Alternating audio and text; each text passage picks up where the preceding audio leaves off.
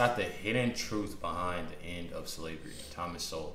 Um, definitely make sure y'all hit that like button, that subscribe button, more videos, comment down below, and let it be known. Definitely appreciate everybody tuning in and watching this reaction. Let's get the video.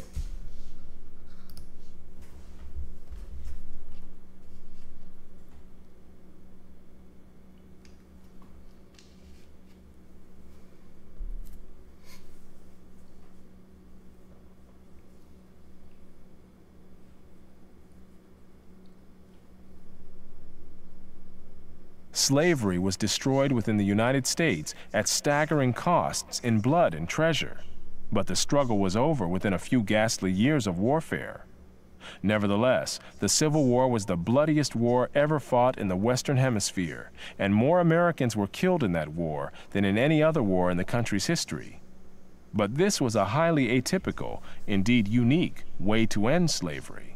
In most of the rest of the world, unremitting efforts to destroy the institution of slavery went on for more than a century on a thousand shifting fronts and in the face of determined and ingenious efforts to continue the trade in human beings.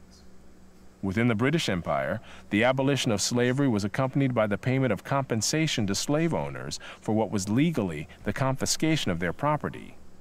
This cost the British government 20 million pounds, a huge sum in the 19th century, about 5% of the nation's annual output. A similar plan to have the federal government of the United States buy up the slaves and then set them free was proposed in Congress, but was never implemented.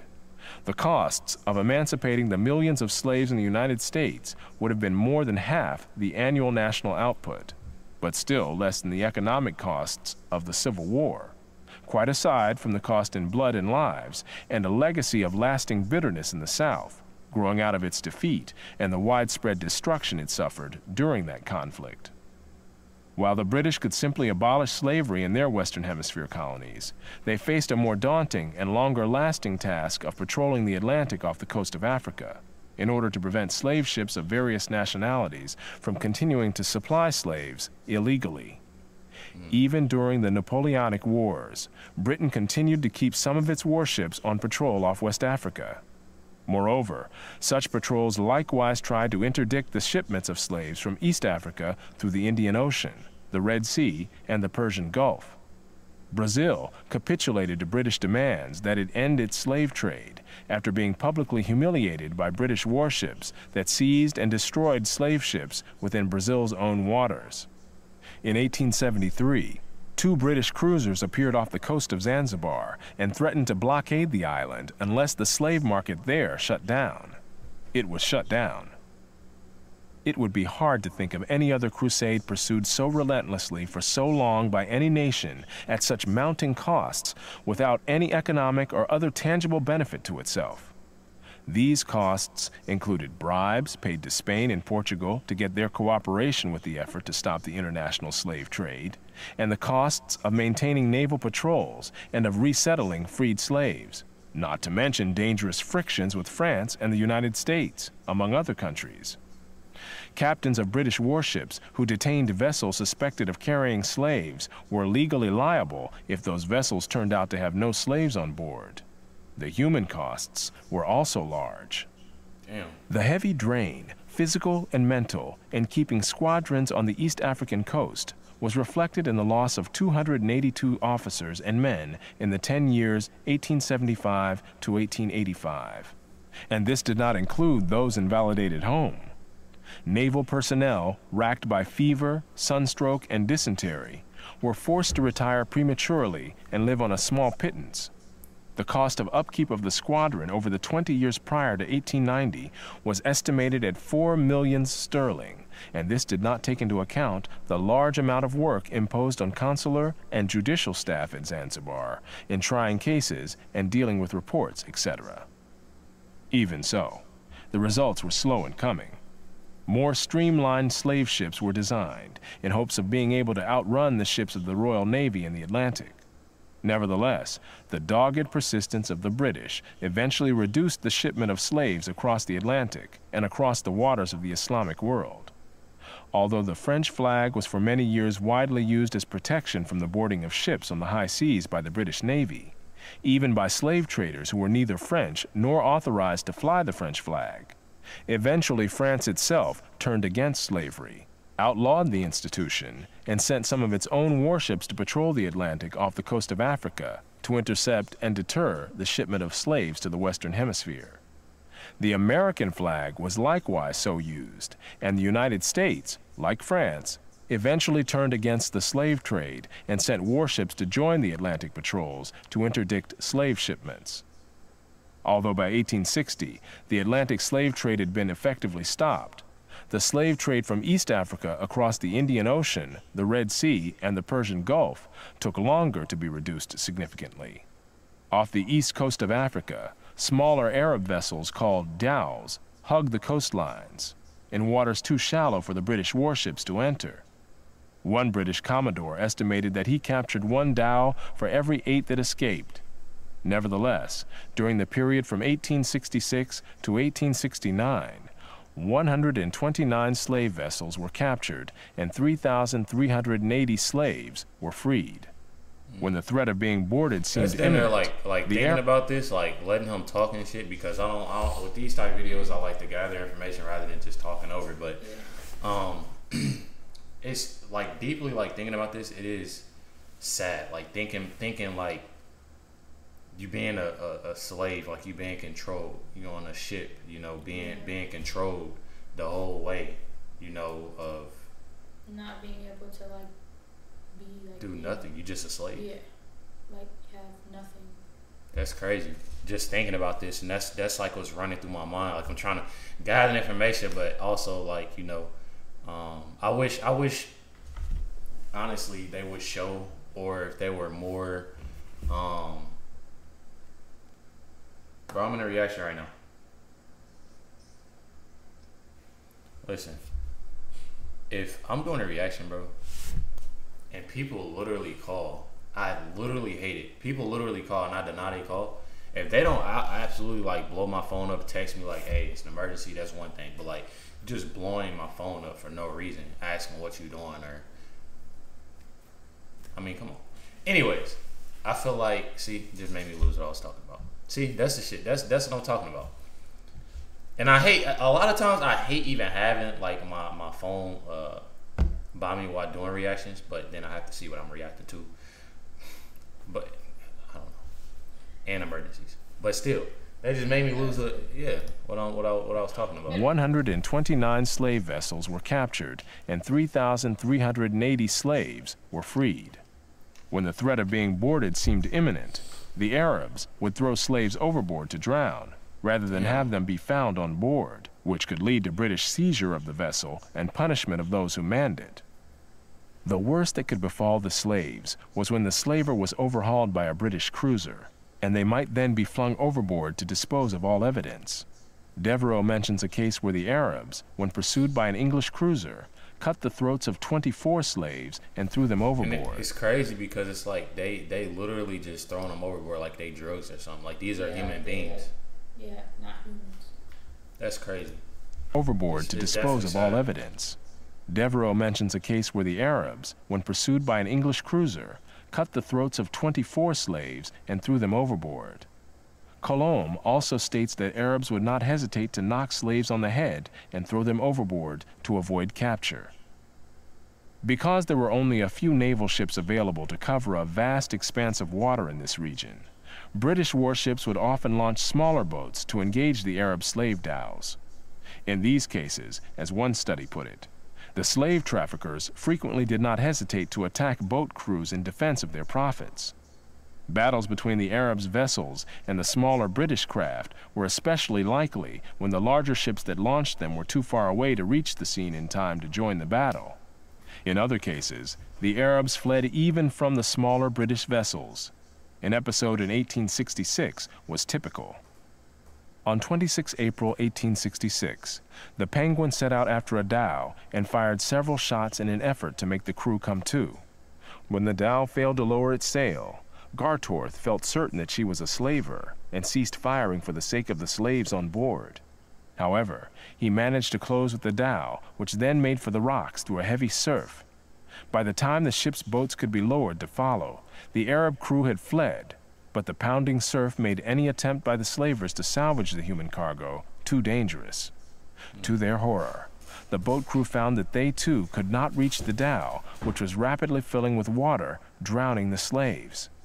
The boat officer decided that he could not risk coming in close to the dhow, but several of the crewmen of the cutter recklessly dived in and swam through the surf to the dhow. In a remarkable display of courage, the sailors managed to bring 28 of the slaves back to the boat. So But the basically, Dow- put their lives at risk to save. Yeah. Dang. They dived in and swam through the surf to the dhow. In a remarkable display of courage, the sailors managed to bring 28 of the slaves back to the boat. But the dhow appeared to have had more than 200 slaves on board, and most died in the pounding waves. In another episode, the Arabs' ruthlessness toward the slaves was further revealed. When the Daphne's cutter captured a dhow with 156 slaves on board, many were found to be in the final stages of starvation and dysentery. One woman was brought out of the dhow with a month old infant in her arms. The baby's forehead was crushed, and when she was asked how the injury had happened, she explained to the ship's interpreter that as the boat came alongside, the baby began to cry. One of the dhowmen, fearing that the sailors would hear the cries, picked up a stone and crushed the child's head. This was not a unique act. Bro, British bro, missionary- It's like that shit, bro. Like having to go through all of it is like something sad, you know. Like that's something sad. Like that. That literally is like I. Is is is. I feel like a, a lot of this needs to be taught, regardless. Yeah. Uh, at school, homeschooled. I feel like a lot of this needs to be taught to learn history. Actually, learn history. You know, not what they like. This this What is they crazy. Want us to know. Exactly. the child's head. This was not a unique act. British missionary and explorer David Livingstone related a similar incident on land. One woman, who was unable to carry both her load and young child, had the child taken from her and saw its brains dashed out on a stone. Dr. Livingstone also reported having Bro, nightmares for listen, bro. weeks. I'll go crazy, bro. I'll go crazy, bro. Somebody touched my bro. Listen, bro. I'm gonna die for mine. That's one thing about it, bro. Like, or I'm, you know what I'm saying? We both, we both like it, it's, it's raps. Like that shit right there. That's that's deep. But then thinking back, like having ha- even having that mindset, just being brainwashed like you a slave, like thinking about that, like you couldn't even like really do anything. like yeah like i don't know. Like we we don't know how they was thinking. We don't know their mindset. We don't know what they was taught. We don't know I would say yeah, that too. you know? That's crazy. Yeah, that's it's yeah it definitely is sad i wasn't expecting Dr. Livingstone also reported having nightmares for weeks after encountering Arab slave traders and their victims. Not only was this Christian missionary shocked by the brutality of the Arab slave traders, so was Muhammad Ali, the ruler of Egypt, who was a battle hardened military commander. None of this means that the horrors of the transatlantic slave trade should be ignored, downplayed, or excused, nor have they been. A vast literature has detailed the vile conditions under which slaves from Africa lived and died during their voyages to the Western Hemisphere. But the much less publicized slave trade to the Islamic countries had even higher mortality rates en route, as well as involving larger numbers of people over the centuries, even though the Atlantic slave trade had higher peaks while it lasted. By a variety of accounts, most of the slaves who were marched across the Sahara toward the Mediterranean died on the way.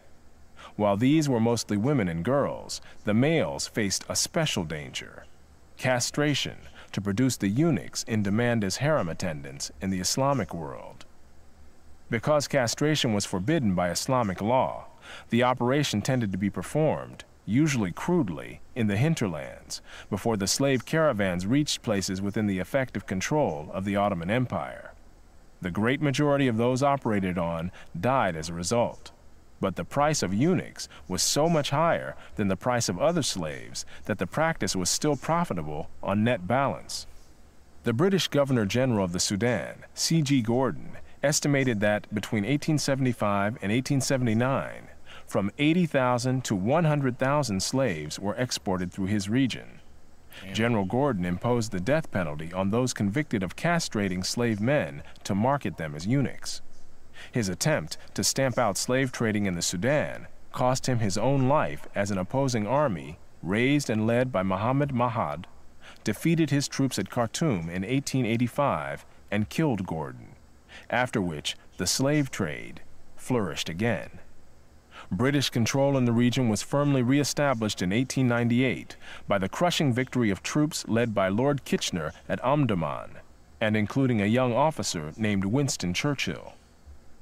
On the issue of slavery, it was essentially Western civilization against the world. At the time, Western civilization had the power to prevail against all other civilizations. That is how and why slavery was destroyed as an institution in almost the whole world. Mm. But it did not happen all at once or even within a few decades. When the British finally stamped out slavery in Tanganyika in 1922, it was more than half a century after the Emancipation Proclamation in the United States, and vestiges of slavery still survived in parts of Africa into the 21st century. Damn. This was this was deep. Yeah. I like uh, Thomas Sowell's uh, videos though. What is that? Yeah, cause I remember the, the last one. Yeah, definitely. Uh, I feel like this is something that needs to be taught. Um, all areas. Um, I don't feel. I feel like a lot of schools they they they do teach you what they're told to be taught. Yeah, I would say it sucks that we're just now like. I mean, obviously, like we knew about this, but not like feel like we should have known about it when we were in school. So like now, like the kids now probably don't even know anything about this. Hell no. So like some some well some maybe well, yeah, if some, they parents like because there's a lot of parents out here parents, yeah. that possibly uh, although they're homeschooled uh, but even teaches their kids um, there might even be parents that hey y'all need to watch this reaction I feel like that is important too um, yeah. I wonder if there's any uh, parents out there that actually lets these let their kids watch different reactions of what's going on yeah. in today's world or the history. I feel like it's important. Uh, of age, uh, I feel like it's important uh, yeah. for some videos. A lot of other videos are a little bit, you know, but I mean, it's it's it's the truth, uh, and it's you know, yeah. yeah. Definitely an amazing video though. Definitely amazing video. Definitely uh, want y'all to comment down more of Thomas Sowell's videos. Um, definitely, uh, you know what I'm saying, uh, enjoy them. Uh, make sure y'all stay tuned for the next one. Um, it's another Thomas Sowell video we'll be dropping down below. Um, but already know, definitely appreciate y'all tuning in, watching this reaction. Catch y'all.